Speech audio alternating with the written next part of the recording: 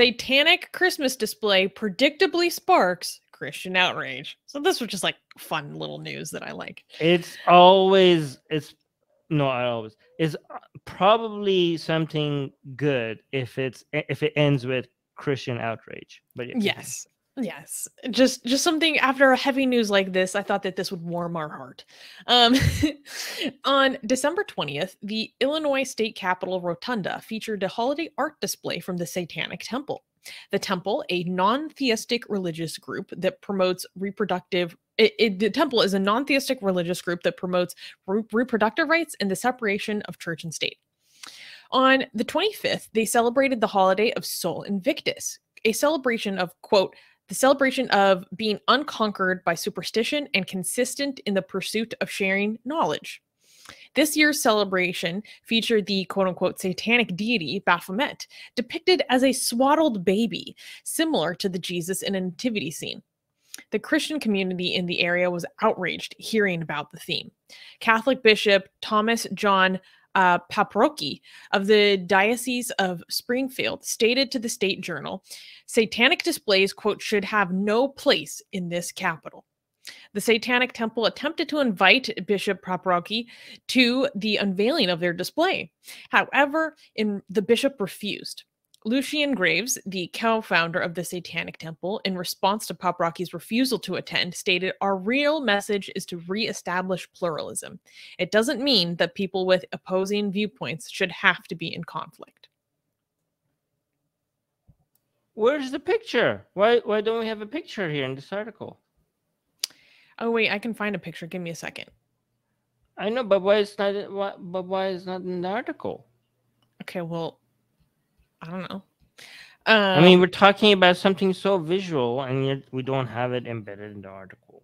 That seems like a major missed opportunity. Um, yeah, I found the picture. Is this the picture? Um, well, that you can't really see it. Wait, if you scroll down, you can see. Hmm. You Oh, can there kind of go. see it right there.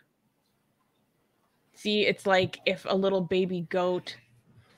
It w- well, like the Baphomet was like a little baby. It's very Oh, small God. though. It's so Why it's so creepy looking. It's so creepy looking. I why make it so ugly? Make it pretty. I don't know. Make it epic. Okay, fine, whatever. I'm not gonna. it's supposed to be, you know, instead of baby Jesus, it's baby Baphomet. Yeah, it's just make it unfortunate that you can't make a I would- goat I cute, I would- guess. I would make it a cute and cuddly little baby goat, not like this. That's what I would do. Well, Baphomet isn't fully goat though. It's just like the head, and then the rest is he has Okay, human but you could still make it. Yeah, you could still make it cute and cuddly. a little plushy, a little plushy Like, Baphomet. Yeah, like it's a baby. What the hell is this? Like I don't. I think like it's a Christian perspective of everything satanic to make it look ugly and you know Dark. dark and deformed or like something like nasty right? I've i want the satanic temples perspective on that be to be like oh all those ugly images of satanic symbols that you've seen that's the christian perspective of it. Look at our perspective of it. This is actually cute and pretty so why would you like this is like for me this is a christian rendering of bath you know i can't even say it baphomet did i say it right Right? Close enough. close enough. Um, I think like they could say like, look, the, our version of it is something sweet, nice, beautiful to look at, cuddly. Look at the fuck. What the hell is that? Its ribs? Yeah. Like, this thing, it looks like it's gonna die in half an hour. okay, but here's the thing, Armin. I get where you're coming from, but they want Christians to be upset by this, right? That's that's what they're looking for. Yeah, Because they be want them if, to but they be realize more upset how- if you show him cute. I don't know. I don't know because they Hmm. want Christians to realize how out of place religion is in state spaces, right? And Hmm. playing into the dark and traditionally satanic is one of the best ways to do so because it actually gets the reaction they're looking for. Whereas the flying spaghetti monster, I mean, it's a cute little ball of spaghetti and meatballs. Like it's not going to get it's not going to um, deliver that point in the same way. I don't agree because the Christians lost their minds over the cute coloring books um, that the Satanic Temple was handing out in schools when they when they allowed religion in school, right? Mm. When they when when the the case over not allow, uh, not allowing religion in school lost, the Satanic Temple was like, "Oh, you're allowing religion in school, then here's a, here's some Satanic coloring book." Um, mm. and it was and Satan and everything and it, over there was really cute. Everything was cute and cuddly and the Christians lost their mind over that, especially especially because it was cute and cuddly. Because they were like, uh, they were like, you know, this is going to, it's more likely to get our children brainwashed. Like they think, like, okay, so like Christians are gonna look at this. They're like, when they're like, these the Teletubbies is satanic. No, no. Okay, listen. Let me make my point. At least some Christians might look at this and be like, okay, my kids are safe. Okay, because my kids mm. are not going to look at my kids are going to look at this and, they, and they're going to look at santa and elves and they're going to choose santa and elves and the cute little baby jesus and the nativity scene. That's what they're going to choose. My kids are not going to choose this monstrosity obviously right? So so they're like okay we're safe right? But if if the if this baby was cute and cuddly they would panic more. They're like okay my kids are not safe. My kids might actually like this cute little goat whatever this thing is they might like it okay because it's now cute okay? So that's why i'm saying like make it cute make it look at our bla- that's the whole point that that's why our blasphemous art at atheist like a lot of people like think like our blasphemous art should make muhammad and jesus look ugly and um you know evil. We don't do that. We make muhammad look really good right? And we make jesus and hindu goddesses we we we draw them nice okay? We make them look nice. Anyways that's my philosophy Anyway, you know, it's it, it did get the reaction that they were looking for though, because there was yeah, yeah. a um I there was this estate senator who had the craziest response to this. So First of all, when they were installing this, there were a bunch of onlookers who were chanting prayers and they had banners saying, Satan has no rights. Be gone, Satan. Satan mm. has no rights. Um, How and, dare you? How dare you? Satan has no rights. Wasn't Satan the first being that fought for human rights, even though he himself was not a human? Now the same humans are saying Satan like the first human rights activist was not a human himself.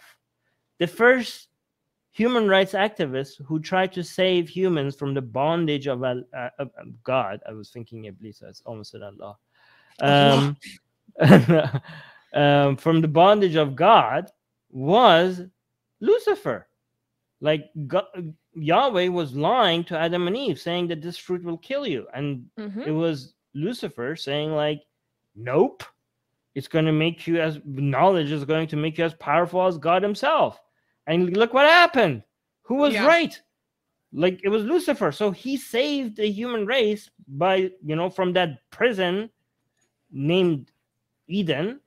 And this is the thanks it gets. Like he's fought for your rights, and now you're saying he doesn't have any rights. You, ungrateful? it's I mean, really spitting in his face. No, but right. I wanted I wanted to read this. So also in attendance okay. was Republican State Senator Darren Bailey and his wife Cindy. In a Facebook post, Bailey, who is running for governor of Illinois, said, quote, I met with other prayer warriors at the Capitol to pray for our state. Bailey also linked the, uh, the social policy to the temple's installation. "Quote: We have been, we have all been appalled by some of Springfield's evil and extreme legislation. But just when we thought it couldn't get worse, they are going to allow a satanic display in your rotunda at the Capitol." He wrote. So it, I just think it's so ridiculous. Well, I mean, I shouldn't be surprised the way that the GOP is going nowadays, but civil leaders should understand that they have just as much of a right to do this as any other religious group. It's insane.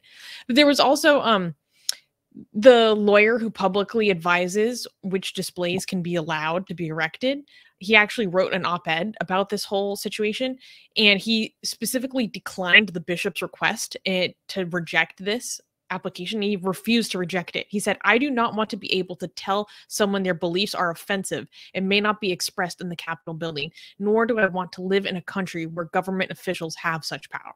So shouts out to that lawyer. He actually knows Wow. freaking constitution. Amazing. Unlike this Maybe- senator. Yes, that's amazing.